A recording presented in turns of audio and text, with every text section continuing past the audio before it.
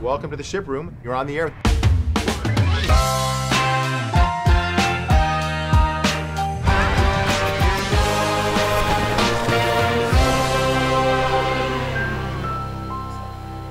The first cyber attack was a worm that made it through ARPANET way back in 1971. And for about as long as that, my guest has been fighting these types of threats. I'm joined by the Chief Information Security Officer at Johns Hopkins University, Darren Lacey. Hey, Darren, welcome to the ship room. I've heard you talk about when you look at cyber attacks by the numbers, Mm-hmm. It kind of puts every organization at a disadvantage just because an attacker can launch a thousand attacks a day and it just takes one person clicking on a phishing attack to get compromised. So, how do you offset that huge disadvantage? Everybody who came up, you know, doing information security during the 2000s, they came up kind of from network security. Yeah, perimeter-based security yeah. model. So we learned about firewalls and yeah. intrusion detection and all those types of things, and maybe we did it at devices and those types of things. But what's really interesting is that the, the, the folks before then, a lot of those were crippies. And, and so it's like back to the past. Right. You know, and so my, my suspicion is that we'll all have to be crippies a little bit more than we are now. One of the most interesting things you're talking about is, is many in the industry were brought up in that perimeter-based security model, but then as the data started to move outside of the perimeter, it starts to move to the cloud, it's on mobile devices, that model is no longer uh, effective.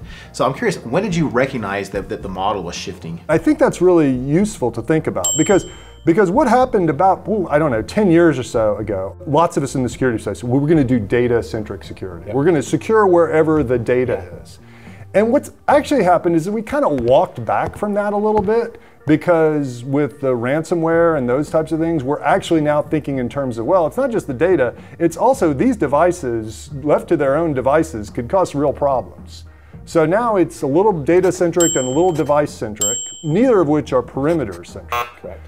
So it's so we, you know, so that, that, that, there was this model. If you wanted to be one of the cool kids 10 years ago, you said, "Oh yeah, it's not about the stuff or where it is. It's all about the data." Yeah. And then it's like, well, no, it's really about the device. Now we're kind of in this weird state where we have those two things, and then we're trying to figure out the cloud side of it, which is kind of the underlying implication of the whole thing. So it's a it's a it's a it's a it's a uh, three-legged stool that we haven't really worked out yet. The the obvious the answer to it is always the same, which is you have to inspect everybody and everything that's getting to things. You have to monitor it and you have to be able to establish the identity right. and then react afterwards. So it, the, the answers are pretty much always the same, but the questions are getting really weird. Okay, so you live and work in Baltimore right now. Yes, I do. And I love there's that one show that was set in Baltimore that was so, you know, popular on cable. What's it uh, called? Uh, I don't know. Let's see. Uh, maybe The Wire, probably. Yeah. I was thinking Ace of Cakes. You talked about data protection. You talked about device protection. I think the third leg is also identity protection. As we, yeah. talk, we talked about mm-hmm. these concepts of zero yeah. trust. You know, it's all about ensuring that only trusted users using trusted devices get access to data. And then it's interesting because different data has different values. So you may have different levels of trust on users' identities and devices. Yeah. So how do you think about that? You have the individual, the user. Yep. And the individual's roles, they may shift, but even we leave aside the roles. Then we have the device that they're using. Mm-hmm. All right. And so you have to match that up in some way. Yes. So you have to match all that stuff up. And then after that, then you have to ascertain risk. Once you've reached a threshold level, where Brad is basically on a device that we think he should be on when he's basically accessing the stuff. Once you've reached that threshold level, then you have to conduct a risk analysis that has to go into, then you start doing math of another sort, not crippy math, but you start doing, you know, big time data analytic, going into machine learning math. And uh, that's where we're all headed. So we're all going to do a lot more math than we did in the past. Inside of Microsoft today, uh, just on our commercial authentications, we're doing almost 700 billion commercial authentications a month. And what that allows us to do is have this view now where anytime anybody comes up to ask for access to data like to Office 365, just like you said, we can understand the risk of the user, the risk of the device. We can then bring that together, says what is the holistic risk, mm. and then take actions based upon what the value of the data is compared to the risk. that's what makes you know Microsoft and other big companies like Microsoft so int- intriguing in all of this. Because even if you cleanse everything of any kind of like identifiers and those types of things for privacy purposes, you still have this amazing set of data that's that right. none of us have. And I think that's the thing that is changing most right now is right. in this security world, so much of the security as it modernizes is who is iterating on data and learning from that data to then help you as you protect your company. Yeah, I mean, nobody can do it without you. I mean, oh man, you know, it's. I, I, I, would love to hear you say that again. Uh, no, uh, yeah, nobody can do it without you. I mean, the the point is that you have the data that we don't have, and you have you can profile in, in you know in useful non-intrusive ways. You can profile in ways that none of us as customers can. So we need APIs to pull that data down so that we can do things with it and make the ultimate decisions about whether something is useful or not.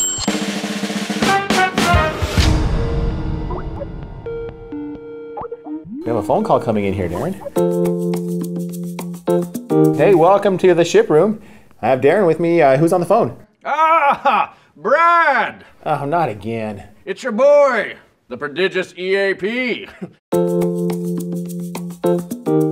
Well, it's uh, been a while, but I've been looking back into getting into the uh, macabre poem game, if you know what I mean. And since cyber attacks are so scary these days, I wanted to try out some new material on you guys. I was thinking Darren can help since we both live and work here in Baltimore. I love a good poem. And are, and are you holding a phone? Oh, yes. The Wi Fi here is fantastic since we're closer to the source. All right.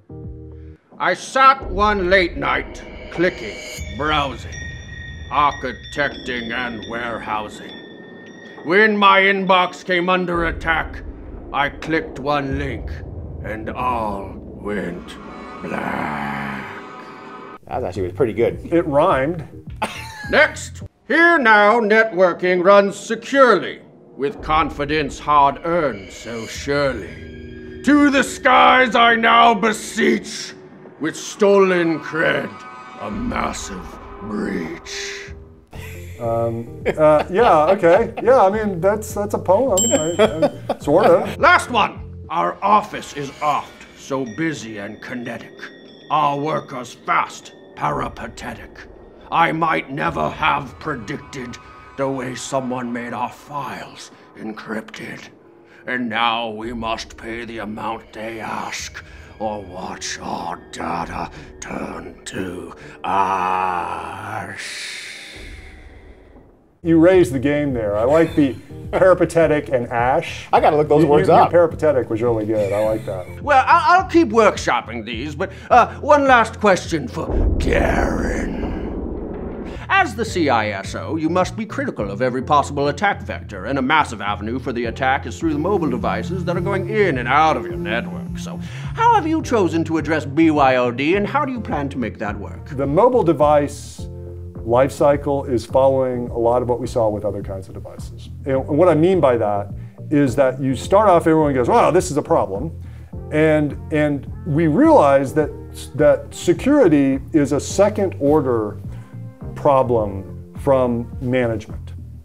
So you've got to have a way of managing the device before specific device security actually becomes meaningful and, help, and helpful. Uh, Microsoft and other folks are basically spending a lot of resources in, in with the Intune and those types of things of, manage, of basically managing mobile devices. In terms of the kinds of threats and attacks that we see, computers are overwhelmingly more likely to cause real problems. So we, we have got a little bit of time while we work through device management. And then at that point, security becomes useful.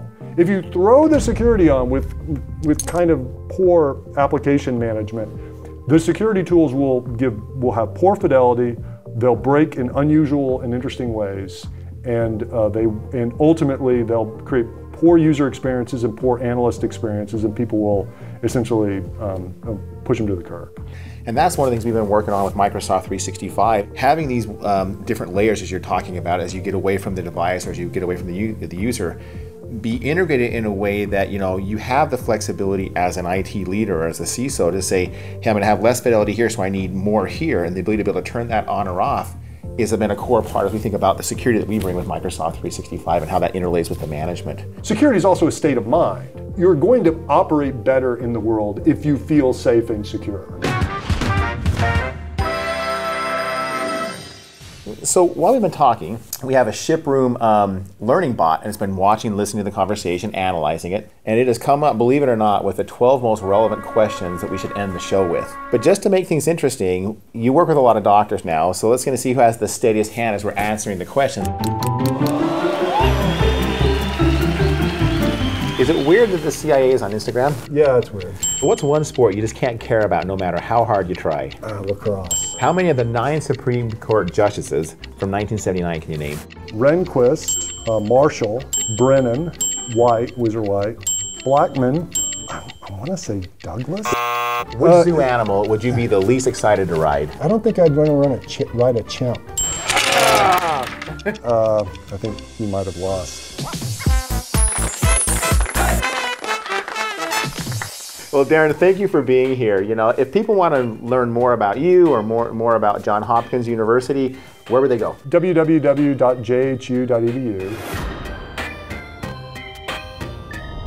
Thanks Thank you for having me. Hey, thanks everybody for being here in the ship room. We'll see you on the next one.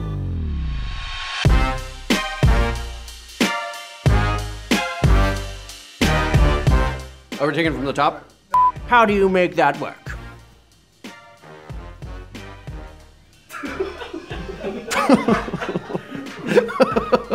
Me? Oh, I'm, I'm originally from Baltimore, same as you. My mother was raised in Little Rock, Arkansas.